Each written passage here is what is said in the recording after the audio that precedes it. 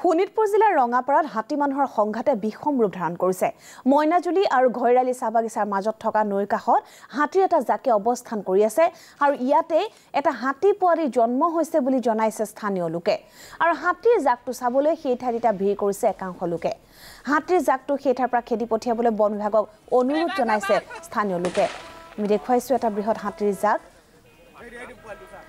শোণিতপুৰ জিলাৰ ৰঙাপাৰাত এতিয়া হাতী মানুহৰ সংঘাতে এটা বিষম ৰূপ ধাৰণ কৰিছে। মইনাজুলীয়া ঘৈৰলি চাহ বাগিচাৰ মাজত থকা নৈৰ কাষত হাতীৰ এটা জাকে অৱস্থান কৰি আছে আৰু ইয়াতে এটা হাতী পোৱালি জন্ম হৈছে বুলিও জনাইছে স্থানীয় লোকে।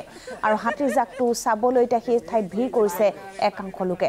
হাতীৰ জাকটো সেই ঠাইৰ পৰা খেদি পঠিয়াবলৈ এতিয়া বন বিভাগক অনুৰোধ জনাইছে স্থানীয় লোকে। আৰু এই সন্দৰ্ভত অধিক জানিবলৈ আমি গৈছোঁ আমাৰ সাংবাদিক শশী শৰ্মাৰ ওচৰলৈ। বৰ্তমান মই উপস্থিত আছোঁ মইনাজুলি চাহ বাগিচা আৰু ঘৈৰালি চাহ বাগিচাৰ একদম মাজত এটা নদী আছে সেই নদীৰ অঞ্চলত মই ৰখি আছোঁ। এইখিনিতে দেখা পাইছোঁ এজাক বনৰীয়া হাতী আহি যোৱা নিশাৰ পৰা আশ্ৰয় লৈ আছে আৰু এই হাতীজাক চাবৰ কাৰণে চাৰিওফালৰ পৰা মানুহ এটা ভিৰ ভিৰ কৰি ৰখাৰ এটা পৰিৱেশ আমি এতিয়া দেখা পাইছোঁ।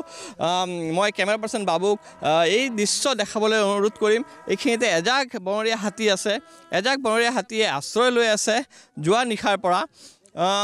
কেমেৰা পাৰ্চন বাবুৱে নিউজ লাইভৰ দৰ্শকসকলক দেখাবৰ যত্ন কৰিছে। কিদৰে এজাক বনৰীয়া হাতী এই অঞ্চলত আহি যোৱা নিশাৰ পৰা আশ্ৰয় লৈ আছে এই অঞ্চলত যোৱা নিশাৰ পৰাই বনৰীয়া হাতী আহি এই অঞ্চলত আশ্ৰয় লৈ আছে আৰু বিভিন্ন চাৰিওফালৰ পৰা মানুহ এই অঞ্চলত হাতীজাক চাবৰ কাৰণে ভিৰ কৰি ৰখা এটা দৃশ্য আমি এতিয়া দেখিব পাইছোঁ। এইখিনিতে মই নিউজ লাইভক দৰ্শকসকলক দেখাব যত্ন কৰি আছোঁ। আৰু এই অঞ্চলতেই হাতী জাকত এটা সৰু হাতী পোৱালি এটা কালি জন্ম হ'ল বুলিও আমি জানিব পাৰিছোঁ। কিন্তু সেই ওচৰলৈকে যাব পৰা ব্যৱস্থা এতিয়া নাই আমাৰ ওচৰত। সেই অঞ্চলত সোমাই যাব নোৱাৰি। আহ, বৰ্তমান আমাৰ ওচৰত এই অঞ্চলৰ ৰাইজ আছে। মই এইখিনিতে জানিব বিচাৰিম।